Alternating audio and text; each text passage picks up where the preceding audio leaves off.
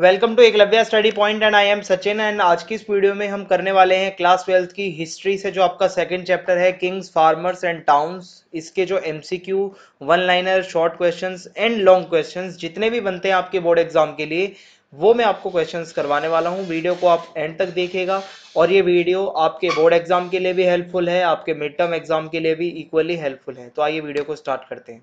सबसे पहले आपको बता दूँ कि if you have any query you can text me on Instagram मेरा यूज़र नेम आप सभी के स्क्रीन के सामने लिखा हुआ है.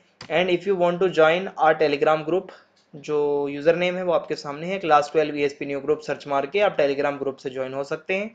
और अगर आप नोट्स पढ़ना चाहते हैं इस चैप्टर के तो आपको हमारी वेबसाइट www.eklavyastudypoint.com को विज़िट करना होगा. और इसी चैप्टर की इजी एक्सप्लेनेशन को देखने के लिए आपको इसी वीडियो के डिस्क्रिप्शन में जाना है और वहाँ पे जाके आप देख पाएँगे। सो so, सबसे पहला क्वेश्चन है हमारे सामने. Name the two sacrifices performed by kings during the Vedic time Vedic time पे कौन से सेक्रीफाइसेस दो बहुत पॉपुलर थे? एक तो राजसूय यज्ञ और दूसरा अश्वमेघ यज्ञ, ठीक है? राजसूय यज्ञ को भी एक पावरफुल रूलर करवाता था। अश्वमेघ यज्ञ में भी क्या होता था? एक भाई हॉर्स होता था, उसको छोड़ दिया जाता था, वो जिस भी टेरिटरी में जाता था, अगर उसको कोई पकड़ता था तो या तो उसको अपनी टेरिटरी सरेंडर करनी होती थी, या तो भाई वो चैलेंज करे, जिसका वो घोड़ा था। सो इस तरीके से ये होता था। फिर है वॉट इज़ मेगालिथ मेगालिथ क्या है? So megalith was elaborate stone structure काफ़ी लंबा और चौड़ा एक स्टोन स्ट्रक्चर होता था। मेगालिथ बड़ा पत्थर। ये हमें सेंट्रल और साउथ इंडिया में देखने को मिलता है फ़र्स्ट मिलेनियम बीसी में और यहाँ पे क्या होता है कि ये बुरियल्स के ऊपर रखे जाते थे कबर वगैरह के ऊपर। In the Mauryan inscription Piyadassi word is use for which king Piyadassi जो है वो अशोक के लिए यूज़ किया गया था वर्ड फोर्थ है compose Sanskrit text by Brahmanas from 600 BC onwards were known as by which name so Dharma Sutra के नाम से जाने जाते थे ये टेक्स्ट फिफ्थ क्वेश्चन है who describe the committee system in modern administration so जो मेगस्थनीज था, ठीक है, जो आया था मतलब एक ये ग्रीक मतलब एक ये वो था, ठीक है एंड ये मेगस्थनीज जो है, यही हमें बताता है कि किस तरीके से यहाँ पे कमेटी सिस्टम था। How many sub committee were found for the military activities military activities के लिए हमें ऐसा एविडेंस मिलता है कि six committees six sub committees होती थी। सेवेंथ क्वेश्चन है how many major political centres in the Mauryan empire so पाँच जो हैं, वो पॉलिटिकल सेंटर्स इंपॉर्टेंट माने जाते हैं, जिसमें से तक्षशिला, उज्जैनी, तोसली, सुवर्णगिरी, ठीक है, और पाटलिपुत्र, जो कि कैपिटल था। सो so, ये इसका आंसर हो जाएगा। फिर अगला क्वेश्चन है, ये टू सेक्रीफाइसेस मैंने आपको बता दिए हैं मेगालिथ भी आपको बता दिया है, और who deciphered Ashokan inscription so James Prinsep ने इनको पढ़ा था इंस्क्रिप्शन को which dynasty issued first gold coins तो सबसे पहले कुषाण जो डायनेस्टी है, इन्होंने गोल्ड कोइंस इशू किए, फिर हु वॉज़ गहपति गहपति कौन होता था? घर का ओनर घर का मास्टर या हेड ऑफ़ हाउस होल्ड जिसको हम गहपति कहते थे। फिर आगे है write any two sources of Mauryan history. Mauryan history के टू सोर्सेस अर्थशास्त्र की कौटिल्य सॉरी कौटिल्य की अर्थशास्त्र बुक जो है एंड अशोकन इंस्क्रिप्शन है जैन लिटरेचर बौद्ध लिटरेचर फॉरेन अकाउंट्स बहुत सारे हमारे पास ऐसे एविडेंसेस हैं सोर्सेस हैं। फिफ्टीन क्वेश्चन है हुवर धम्म महामात्र? सो so, जो धम्म महामात्र होते थे वो स्पेशल ऑफिसर्स होते थे जिनको अशोक ने अपॉइंट किया था। और इनको इसीलिए अपॉइंट किया गया था ताकि ये धम्म के मैसेज को स्प्रेड करे ज़्यादा से ज़्यादा। फिर सिक्सटीन क्वेश्चन है, who were Kushana so Kushan कौन थे? ये काफ़ी इंपॉर्टेंट डायनेस्टी है एंशियंट इंडिया की, क्योंकि इन्होंने फ़र्स्ट जो गोल्ड कोइंस है वो इशू किए थे। सेवेंटी क्वेश्चन है in which language and script Ashoka script were written so ये जो है लैंग्वेज अगर हम बात करें तो प्राकृत, अरामाइक और ग्रीक लैंग्वेज होती थी। स्क्रिप्ट की बात करें तो ब्राह्मी स्क्रिप्ट में, अरामाइक स्क्रिप्ट में, खरोष्टी स्क्रिप्ट में और ग्रीक स्क्रिप्ट में हमें देखने को मिलते हैं। ज़्यादातर जो स्क्रिप्ट मतलब जो इंस्क्रिप्शन मिलते हैं। एटीन क्वेश्चन है why is six century BCE often considered as a major turning point in Indian history ये जो टाइम पीरियड था, इसको मेजर टर्निंग पॉइंट क्यों कहा जाता है? क्योंकि एक तो अर्ली स्टेट्स का एमरजेंस हुआ, महाजनपदास का और जनपदास का सिटीज़ और मतलब क्या है कि भाई आयरन का यूज़ काफ़ी बढ़ने लगा था इस टाइम पे। और कॉइन्स का यूज़ होने लगा था, नए रिलीजन आने लगे थे अब, ठीक है? एमर्ज हो रहे थे, जैसे बुद्धिज्म और जैनिज्म सो ये हो जाएगा। अब थोड़े से और लॉन्ग क्वेश्चन की तरफ़ चलते हैं। ये तो वन लाइनर थे। So list some of the problems faced by epigraphist ठीक है? जो एपिग्राफिस्ट होते हैं हमारे जो इंस्क्रिप्शन को पढ़ते हैं एपिक्स को पढ़ते हैं वो क्या है कि भाई इंस्क्रिप्शन को पढ़ने वाले लोगों को ही हम एपिग्राफिस्ट कहते हैं। Sometimes the words are engraved very lightly बहुत बारी क्या होता है जो इंस्क्रिप्शन के ऊपर वर्ड्स लिखे होते हैं वो काफ़ी लाइटली लिखे होते हैं। सो so, काफ़ी हार्ड होता है उनको डिस्क्राइब कर पाना। टेक्निकल लिमिटेशंस बहुत सारी होती हैं। क्लैरिटी बहुत बारी सही से नहीं मिल पाती। काफ़ी ज़्यादा जो इंस्क्रिप्शन है, वो अनडेसिफर्ड रह जाते हैं, उनको पढ़ा नहीं जा सकता। बहुत बारी वो भाई मतलब डैमेज भी हो जाता है इंस्क्रिप्शन और बहुत बारी नॉन रिलेवेंट इंस्क्रिप्शन मिल जाते हैं। बहुत बारी हमें उसके ऊपर लिखी हुई स्क्रिप्ट समझ में नहीं आती। सो ये कुछ प्रॉब्लम्स हैं जो कि एफिग्राफिस्ट फेस करते हैं। फिर नेक्स्ट क्वेश्चन है हमारे सामने। Describe briefly the sources for reconstructing the history of the Gupta rulers Gupta rulers की हिस्ट्री को रिकंस्ट्रक्ट करने के लिए जो सोर्सेज हैं, उसमें से लिटरेरी सोर्सेज सबसे पहले आते हैं हमारे। फिर उसके बाद जो फॉरनर्स के डिस्क्रिप्शन हैं, जैसे कि फाइयान बताते हैं हमें, और प्रशस्तीज बहुत सारी मिलती है, जैसे हरिशेण प्रशस्ति इन प्रयाग ठीक है अलाहाबाद पिलर इंस्क्रिप्शन पे जो है, ठीक है, ये हमें देखने को मिलती है। And with the help of coins coins से हमें बहुत कुछ पता चलता है। ठीक है, बहुत सारे किंग्स के बारे में एंड रूलर्स के बारे में, गुप्ता रूलर्स के बारे में एंड इंस्क्रिप्शन से हमें बहुत कुछ पता चलता है, ठीक है? With the help of inscription we come to know about many Gupta rulers so ये हमारे कुछ इंपॉर्टेंट क्वेश्चन है। आगे बढ़ते हैं। Describe any five features of mahajanapada so mahajanapada जो होते थे, वो वहाँ पे जो किंग होते थे, उसको रूल करते थे। कुछ कुछ महाजनपदास को गण और संघ भी रूल करते थे, जहाँ पे एक से ज़्यादा लोग मिलकर वहाँ पे रूल करते थे। फोर्टिफाइड इनकी कैपिटल होती थी, यानी कि जो भी महाजनपद है, उनकी जो कैपिटल होगी, वो काफ़ी फोर्टिफाइड और सिक्योर होती थी। परमानेंट आर्मी होती थी महाजनपदास के पास अपनी एंड फ़ंक्शंस ऑफ़ किंग राजा के फ़ंक्शन राजा का मेन काम यही था टैक्स कलेक्ट करना, ठीक है? एंड uh, यहाँ पे मतलब यही बताया जाता है कि भाई राजा का मेन काम यही है टैक्स कलेक्ट करो और अपने लोगों की रक्षा करो सिक्योरिटी प्रोवाइड करना। How does inscription help in reconstruction of history so जो हमें इंस्क्रिप्शन मिलते हैं उससे हम हिस्ट्री को कैसे रिकंस्ट्रक्ट कर सकते हैं? सो so, देखिए knowledge about the rulers and their achievements जो इंस्क्रिप्शन है वो हमें बताते हैं रूलर्स के बारे में हमें इंफॉर्मेशन मिलती है उनकी क्या अचीवमेंट्स थी जैसे कि प्रयाग प्रशस्ति हरिशेण की जो है, वो हमें बहुत कुछ बताती है, ठीक है? समुद्रगुप्त वगैरह के बारे में and script and language of that time inscription से हमें ये पता चलता है उस टाइम पे कौन सी स्क्रिप्ट प्रेविलेंट थी, कौन सी लैंग्वेज प्रेविलेंट थी land grant and economic conditions कैसी थी, क्या उस टाइम पे कोई लैंड ग्रांट्स वगैरह होते थे? ये हमें इंस्क्रिप्शंस बताते हैं। वहाँ की इकोनॉमिक कंडीशन कैसी होती थी? ये हमें इंस्क्रिप्शंस बताते हैं। और एक्सटेंट ऑफ़ द एम्पायर हमें इंस्क्रिप्शन से ये भी पता चलता है कि कोई भी एम्पायर है वो कितनी दूर तक फैला हुआ था कितना उसका एक्सटेंट था।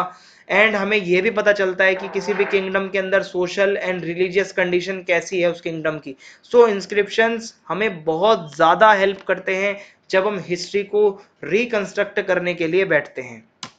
आगे बढ़ते हैं। What were the main features of Mauryan administration so Mauryan administration के मेन फीचर्स क्या थे? सबसे पहले अगर हम देखें तो इसका जो एडमिनिस्ट्रेशन था, वो सेंट्रल था। सेंट्रल एडमिनिस्ट्रेशन का मतलब है किंग का सबसे ज़्यादा कंट्रोल होता था लेजिस्लेटिव के ऊपर एग्जीक्यूटिव के ऊपर और जुडिशरी के ऊपर। मेन कंट्रोल जो है, वो किंग का होता था। Actually he was the most powerful person in empire और पूरे एम्पायर में जो किंग होता था, वो सबसे पावरफुल पर्सन होता था। फिर क्या है? प्रोविडेंस या provincial administration the empire was divided into many provinces जो एम्पायर था, वो काफ़ी सारे प्रोविंसेस में डिवाइडेड था गवर्न बाय गवर्नर्स ठीक है? जिनको गवर्न कौन करता था? गवर्नर्स करते थे। लोकल गवर्नमेंट होती थी भाई। There was a committee of three members to maintain rules and regulations in Pataliputra so local government के भी हमें एविडेंस मिलते हैं। So existence of cabinet to give advice हमें ये भी मतलब मिलता है एविडेंस कि भाई कैबिनेट हुआ करती थी, जिसमें सॉरी जिसमें मिनिस्टर्स होते थे, जो एडवाइस करते थे किंग्स को कैसे एडमिनिस्ट्रेशन को चलाना है। पाँच पॉलिटिकल सेंटर्स थे, ये मैंने आपको पीछे बताई दिए हैं। आर्मी काफ़ी ज़्यादा ऑर्गेनाइज थी, ठीक है? A committee with six sub committees ये हमें मैगस्तनीज ने बताया था, याद रखना। और टू स्प्रेड धम्म महामात्र, ठीक है? And officers for the land revenue land revenue के अलग ऑफिसर्स होते थे इरिगेशन वगैरह के लिए और इन सब के लिए अलग अलग ऑफिसर्स थे जो इनको सुपरविजन में अपने देखते थे सब कुछ। स्ट्रिक्ट लॉज होते थे काफ़ी ज़्यादा एडमिनिस्ट्रेशन में। Order system was set up law and order system काफ़ी अच्छा था यहाँ का। Institution of spies was very strong and working effectively जो जासूस होते हैं, जो स्पाइंग का काम करते हैं, वो भी काफ़ी ज़्यादा अच्छे से इफेक्टिवली काम हो रहा था मोरियन एडमिनिस्ट्रेशन के अंदर।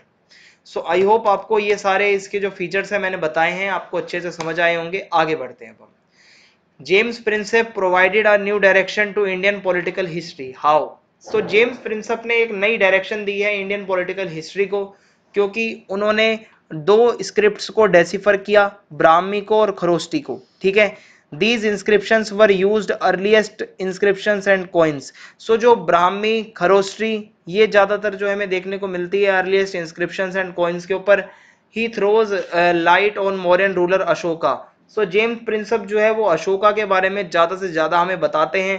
The research of James Prinsep gave a new direction to Indian political history और जेम्स प्रिंसप ने जो रिसर्च करी, उनसे हमें हमारी इंडियन पॉलिटिकल हिस्ट्री को एक न्यू डायरेक्शन मिली और स्कॉलर्स इंडियन स्कॉलर्स भी और यूरोपियन स्कॉलर्स भी use the inscription and coins to draw information about major dynasties so James Prinsep का जो जो कंट्रीब्यूशन है, वो काफ़ी ज़्यादा है, ठीक है? इंडियन पोलिटिकल हिस्ट्री को बनाने में।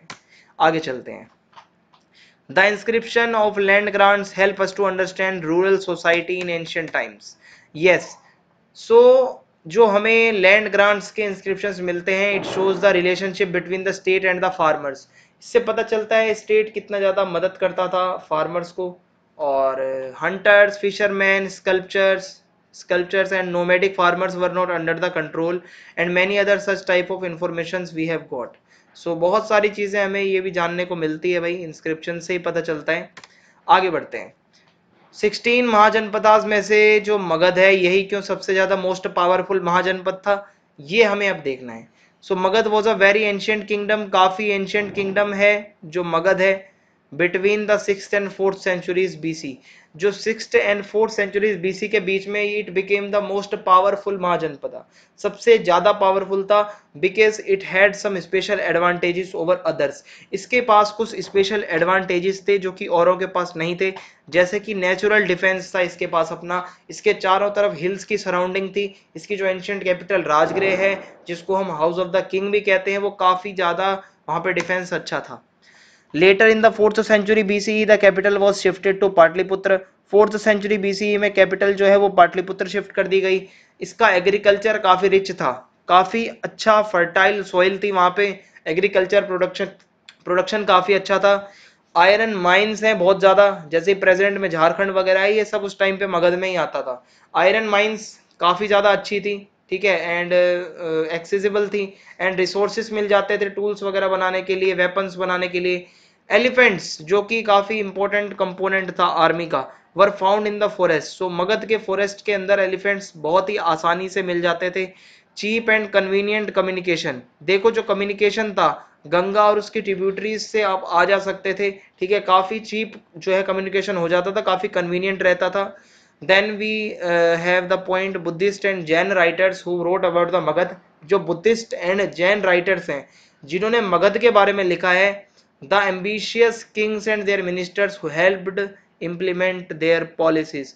Buddhist और जैन राइटर्स बताते हैं मगध के बारे में लिखते हुए कि वहाँ के किंग्स काफ़ी एम्बिशियस थे, उनके मिनिस्टर्स हेल्प करते थे पॉलिसीज़ को कैसे इम्प्लीमेंट करना है। बिंबिसार, आज़ाद सत्तू, महापद्मानंद, ये कुछ एम्बिशियस जो है रूलर्स थे किंग्स थे, जो हमें देखने को मिलते हैं। Next question is why is six century BCE major turning point in early Indian history six century BCE ये जो है, क्यों एक टर्निंग पॉइंट था? आयरन का यूज़ बढ़ने लगा था कॉइन्स का डेवलपमेंट हो चुका था स्टेट्स का इमरजेंस हो रहा था, और बुद्धिज्म एंड जैनिज्म जैसे नए रिलीजन्स का भी राइज हो रहा था. That's why we say six century BCE was a common was a major turning point in early Indian history what were strategies for increasing production agricultural production को बढ़ाने के लिए क्या स्ट्रेटेजीज थी उस टाइम पे? So one such strategy was the shift to plough agriculture which spread in fertile alluvial river valleys such as those of the Ganga and Kaveri भाई, हल से एग्रीकल्चर करो, काफ़ी अच्छे से जो फर्टाइल जो एलुवियल वैलीज हैं आस पास जो फर्टाइल सॉइल है, जहाँ की काफ़ी ज़्यादा और वहाँ पे जो है गंगा वगैरह के आसपास वैलीज के आसपास ये होने लगा एग्रीकल्चर सो इससे प्रोडक्शन बढ़ा। और द आयरन टिप्ड प्लॉशेयर जो हल होता था, उसके आगे की जो टिप होती थी, वो अब आयरन की थी। सो जिससे क्या हो रहा था, काफ़ी अच्छे से यहाँ पे यूज़ हो रहा था इसका और प्रोडक्शन बढ़ता जा रहा था। एंड और while the iron plowshare led to a growth in agricultural productivity productivity काफ़ी इंक्रीज होती है ग्रोथ होती है और another strategy adopted to increase agricultural production was the use of irrigation.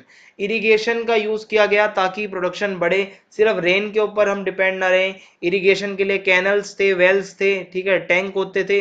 And ये सारी चीज़ें हमें मिलती हैं जो कि एग्रीकल्चरल प्रोडक्शन को बढ़ाने के लिए यूज़ होती थी। एंड ये सबसे ज़्यादा इंपॉर्टेंट क्वेश्चंस थे जो मैंने आपको करवाए हैं। अगर वीडियो पसंद आई हो तो चैनल को सब्सक्राइब करना ना भूलें। ज़्यादा से ज़्यादा आप वीडियो को लाइक करें। और कमेंट बॉक्स में आप ज़रूर बताएँ, वीडियो आपको कैसी लगी, और वीडियो को ज़्यादा से ज़्यादा शेयर करें। जय हिंद, जय भारत बहुत बहुत धन्यवाद।